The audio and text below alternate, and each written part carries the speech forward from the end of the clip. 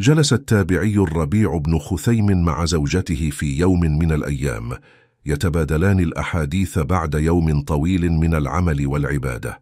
فقال الربيع يا زوجتي العزيزة هل يمكنك أن تصنعي لنا خبيصا؟ والخبيص هو المعمول بالتمر وهي أكلة لذيذة.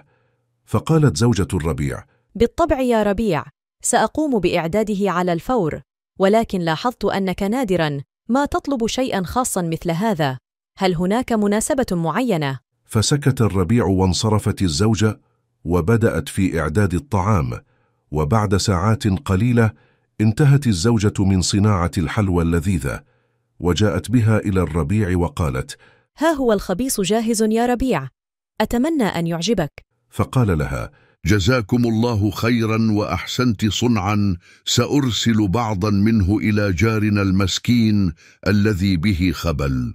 فقالت له زوجته ولكن يا ربيع لقد بذلت جهدا كبيرا في تحضيره وهذا الرجل لا يدري ما الذي يأكله. فقال الربيع نعم هذا صحيح ولكنه يحتاج إلى هذا الطعام أكثر منا لإدخال السرور عليه. وإن كان لا يدري فإن الله يدري. فأجابت الزوجة بإعجاب واحترام. أنت محق يا ربيع. سأساعدك في إرسال الطعام له. فأخذ الربيع بن خثيم الطعام إلى جاره المصاب وجلس بجانبه وهو يلقمه واللعاب يسيل من فمه والربيع يبتسم له. تاركا أثرا طيبا في قلب زوجته وقلب كل من سمع بحكايته. رحم الله الربيع بن خثيم وزوجته وكل من صنع مثله وأدخل السرور على الضعفاء والمساكين.